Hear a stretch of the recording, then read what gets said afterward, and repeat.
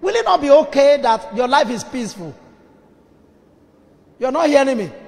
Will it not be okay that your life is not tumultuous? Will it not be okay that your life is not troublesome? Will it not be okay that your life is not a life of up and down? Say, ah, this life is just so full of up and down. The life of Solomon was not full of up and down. You can see. Until when he walked out of God, anyway. So, in us, that with wisdom, life is stable, is peaceful, is progressive, and prosperous. With wisdom. That's why wisdom, Solomon came to a point where he said, Wisdom is the principal thing. Get wisdom. And with all that getting, get understanding. Is the principal thing.